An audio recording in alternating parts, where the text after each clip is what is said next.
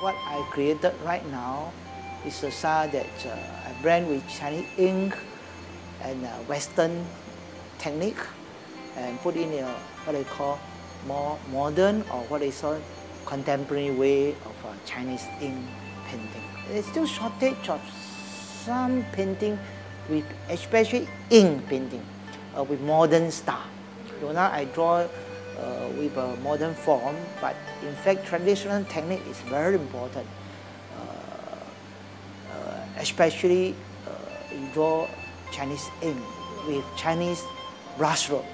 More importantly is, you still got, when the, the final work completed, I want it to be uh, different with others.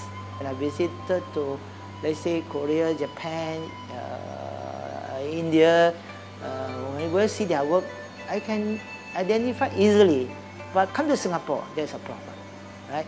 So uh, I always have some question in my mind that uh, Indonesia, they got their own feeling. Why? Uh, so what the Singapore uh, topic should be. So at the end, I told myself, uh, because since we got many uh, language, many religions, so a mixture of, uh, of technique and, and uh, icon into a painting should be acceptable.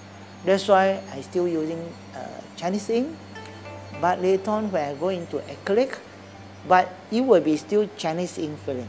But when people look at it, they might say, oh, this one look like oil painting. But in fact, it's got still got to classify as ink. If you draw on the rice paper, it classify as Western painting, maybe you draw on uh, canvas. But the feeling is still got to be what they call Singapore feeling. Uh, beside rainforest in color, uh, I try to introduce another series of work called uh, Reflections of the Lotus Pond.